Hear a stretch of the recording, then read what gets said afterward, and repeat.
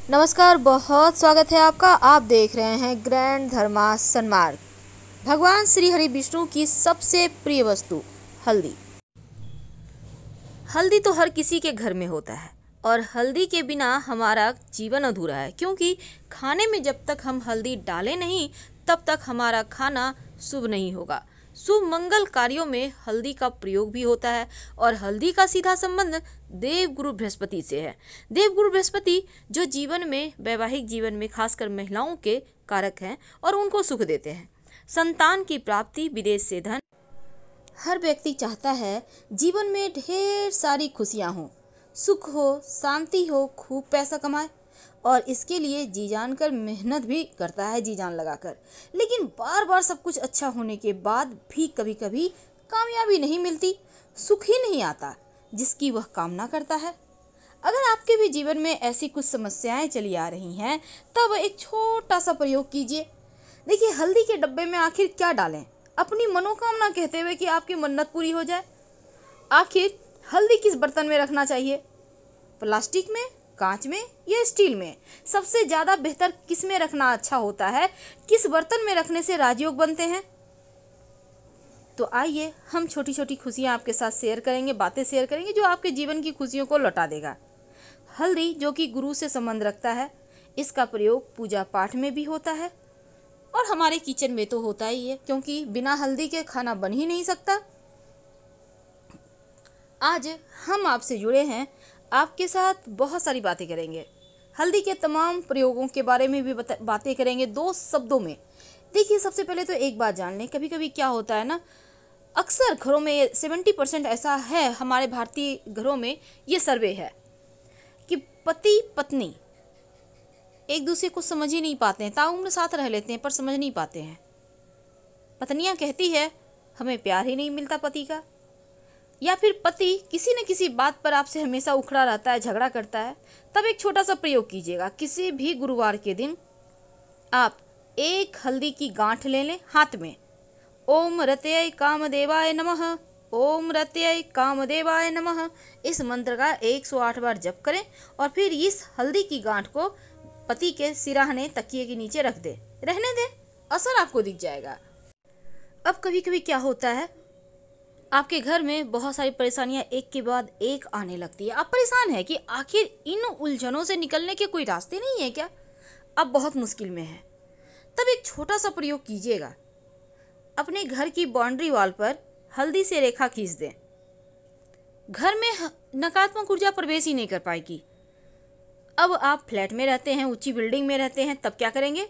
अपने घर के मुख्य दरवाजे के चारों तरफ़ से घेरा बना दें हल्दी की गांठ से। इससे भी आपकी रक्षा हो जाएगी। बहुत सिंपल है। अब एक छोटा सा प्रयोग। कई बार कहते हैं कि ससुराल वाले प्यार ही नहीं करते। ऐसा अक्सर महिलाओं की शिकायत होती है। कितना भी कर लो कुछ ना कुछ कमियाँ ही निकालते हैं लोग। और ऐसा नहीं है कि आप हमारी बहनें हैं माताएँ हैं। आप भी ऐसा कहेंगी कि हाँ बेटी के ससुराल में है बहुत बेटी करती है पर कमियाँ निकालने के लिए सबको ही बैठे हैं। ऐसा नहीं कि प्रेम नहीं मिलता। प्रेम भी मिलता है पर कमियाँ भी निकाली जाती है। तब एक छोटा सा काम कीजिएगा। जब आपकी बेटी आपके घर आती है, वापस अपने ससुराल जाती है तो उसको उसके हाथ में सात गांठ हल्दी के एक पीतल का टुकड़ा और थोड़ा सा गुड़ दे दें। और फिर कन्या को कहें कि अपनी ससुराल वाली दिशा में फेंक दे और फिर वो ससुराल चली जाए। दिशा मतलब अब मान लेते हैं आपके घर से किधर है? पूरब, पश्चिम, उत्तर, दक्षिण, उसी दिशा में फेंक कर चली जाए। फिर देखिएगा, प्रेम कैसे मिलता है? क्योंकि ये टोटका है। अब कई बार क्या होते हैं, जीवन में बहुत सारे ऐसे उलझने होती हैं कि उससे बाहर निकलना मुश्किल होता है। एक अंतिम टोटका, कई बार आपके पति किसी गलत चीज़ों के शिकार हो जाते हैं। शराब पी रहे हैं, सिगरेट पी रहे हैं किसी अन्य महिलाओं के चक्कर में है। अब पत्नियाँ बेचारी घर में परेशान हो रही हैं। तब ऐसे में एक छोटा सा काम कीजिएगा। ग्यारह हल्दी की गांठ, एक लाल मौली धागा या लाल पीला मौली धागा में लपेट लें। पति के ऊपर से सात बार उतार कर बहते हुए जल में प्रवाहित कर दें। अब ये प्रयोग आपको किस दिन करना है? शनिवार के दिन। आठ शनिवार कीजिए। अब बहता हुआ जल ना हो तब किसी भी पास के मंदिर के सीढ़ी पर रख दें या पीपल के वृक्ष के नीचे रख दें। पति पत्नी के नोक झोंक झगड़े, लड़ाई भी समाप्त हो जाएँगे। प्रेम बढ़ेगा। और अगर आपके घर में लड़की है, कन्या है या लड़का है, विवाह नहीं हो पा रहा तो जो कन्याएँ हैं, वो हल्दी की गांठ अपने गले में, बाह में धारण करे, अपने पर्स में भी रख सकता है। और भगवान सूर्य को संभव हो तो एक चुटकी जल में हल्दी डालकर अर्पित करने से भी विवाह संबंधी मुश्किलें दूर होती है। तो ये तो थी हल्दी के कुछ खास प्रयोग। लेकिन क्या आपको पता है, अगर आप नियमित रूप से अपने घर में आपके जो दूध रहते हैं, दूध में एक चुटकी या उससे भी कम हल्दी डाल दें तो बरकत बढ़ जाती है घर में। अब आप सोचेंगे कैसे डाल दें? कोई बात नहीं थोड़ा सा दूध में डालकर उसको बच्चों को दे दें पीने। खुद भी पी सकते हैं, हल्दी वाला दूध वैसे भी पौष्टिक है। लेकिन थोड़ा सा ज़रूरत से ज़्यादा हल्दी शरीर में विष पैदा करता है। तो थोड़ा सा पीना है। तो ये प्रयोग भी आप कीजिए। इससे भी आपको लाभ होगा। अब सवाल उठता है कि हम जो हल्दी का गांठ है, उसको किस बर्तन में रखें? हल्दी का पाउडर जो है, जो किचन में आप यूज़ करते हैं तो किस बर्तन में रखें? तो हल्दी जब भी आप अपने किचन में रखिए तो कांच के बर्तन में रखें। हल्दी गुरु का कारक है और कांच चंद्रमा का कारक है। तो क्या होगा? जब चंद्र और गुरु मिलेगा तो यहाँ पर राजयोग बन जाएगा और फिर आपके घर में बरकत होनी शुरू हो जाएगी। बहुत सिंपल है। लेकिन हल्दी के डब्बे में क्या रखेंगे? उसके पहले एक और बात। अगर नियमित रूप से आप एक बर्तन में पा, पानी ले लेते हैं उसमें एक चुटकी हल्दी डालकर पूरे घर में छिड़काव करते हैं बाकी बचा हुआ पानी पौधे में डाल दें। और अगर आपका बृहस्पति यानी गुरु कमज़ोर है तो पीले हल्दी को बांधकर, पीले हल्दी की गांठ यानी साबुत हल्दी को पीले धागे में बांधकर बाह में या गले में पहने। शुक्ल पक्ष, किसी भी महीने की शुक्ल पक्ष की गुरुवार की सुबह। ये पीले पुखराज रत्न के इतना ही कार्य करेगा और छः महीने के बाद आप इसको निकाल कर मिट्टी में दबा दें और फ्रेश पहन लें और ये बृहस्पति को मज़बूत करता है। हल्दी धारण करने से आपका गुरु मज़बूत होता है। करना चाहिए। इससे मुश्किलें कम होती है, पर दान कहाँ करेंगे? देखिए, पास के मंदिर में आप हल्दी रख कर चले आइए। अब शिव जी के मंदिर में नहीं, माँ पार्वती के मंदिर में आप रख सकते हैं। आपकी वाणी मज़बूत होती है, लेकिन एक और बात जान लें, किसी भी गुरुवार के दिन एक छोटी सी डिब्बी में थोड़ा सा हल्दी ले लें। और उसमें आपके घर में जो भी सोना पड़ा हुआ है, जिसका यूज़ नहीं है टूटा फूटा हुआ भी चलेगा। एक छोटा सा टुकड़ा आप उस हल्दी की डिब्बी में डालकर उसको संभाल कर पूजा स्थान पर या धन के स्थान पर रख दें।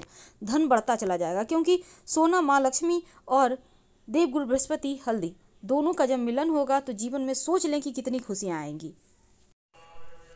अगर कोई बड़ी मनोकामना है, लंबे समय से पूरी नहीं हो पा रही है तो हल्दी एक बर्तन में घोल लें, पानी के सहारे। पास के किसी भी पीपल के पेड़ पर इस घुले हुए हल्दी से अपनी मनोकामना लिखें और फिर बिना पीछे मुड़े घर आ जाएँ। एक छोटा सा प्रयोग, आपके घर में गोल्ड होगा, सोना, टुकड़ा। टुकड़ा यानी मान लेते हैं नोजपिन है, टूटा हुआ है, अंगूठी है, टूटी हुई है, कोई भी टुकड़ा या अच्छा ही सोना है आपके पास तो उसको हल्दी एक डिब्बी में रख कर उसमें उस सोने को रख कर छिपा कर रख दें। अपने तिजोरी में ही देखिए कैसे धन बढ़ेगा। लेकिन दूसरी तरफ़, अगर आप हल्दी के डब्बे में लाल मिर्च छोटे छोटे लाल मिर्च ले लें, सूखी हुई कम से कम पाँच या सात, अपनी मन्नत कहते हुए उसमें रख दें। जब मनोकामना पूर्ण हो जाए तो इस लाल मिर्च को निकाल लें और इसको आप चाहें तो सब्ज़ी में डाल दें या फिर कहीं मिट्टी में दबा दें। वैसे, आप इस हल्दी के डब्बे में अपनी विष कहते हुए लाल मिर्च आपको रखना है। दूसरी बात, नकारात्मक ऊर्जा से भी बचेंगे और जब लाल मिर्च इसमें जाएगा तो जीवन के संघर्ष कम होते हैं। वैसे हल्दी के डब्बे में दो लौंग भी डाल कर रख सकते हैं, इससे भी आपके जीवन की मुश्किलें कम होंगी। लेकिन नमक और हल्दी एक साथ कभी मत रखें। यानी नमक यहाँ पे रखा है तो हल्दी थोड़ा अलग हटा के रखें। ये बहुत ज़रूरी है, वरना बेवजह घर में झगड़े, लड़ाई, डिप्रेशन की डिप्रेशन की समस्या पैदा होगी, तकरार होगी, तनाव बढ़ेगा। और अगर आप अपने घर के मुख्य दरवाजे पर हल्दी से स्वस्तिक का निशान बनाते हैं तो नकारात्मक ऊर्जा प्रवेश नहीं करेगी। घर में रहने वाले सुखी, संपन्न और मस्त रहेंगे और जीवन में खुशियाँ भी आती रहेंगी। ये तो बहुत सिंपल प्रयोग था जो हल्दी से आप कर सकते हैं। लेकिन हल्दी के डब्बे में जो लाल मिर्च डालेंगे छोटे छोटे चुनके सूखे हुए लाल मिर्च डालना है आपको, इस बात का याद रखिएगा। हम क्योंकि यहाँ पर देखिए, अब बहुत सारे महिलाएँ कहेंगी, मेरे पास तो प्लास्टिक के डब्बे में हल्दी है, कोई दोष है? नहीं दोष बिल्कुल भी नहीं है। ना ही स्टील के डब्बे में रखने से दोष है। लेकिन अगर आप कांच में रखते हैं तो इसके महत्व ज़्यादा बढ़ जाते हैं, इसके बेनिफिट मिलेंगे। लेकिन जो रसोई में हल्दी है, उसमें दो लौंग डालकर ज़रूर रखें और हम आपसे विदा लेते हैं। जानकारी अच्छी लगे तो लाइक कर सब्सक्राइब करें। धन्यवाद।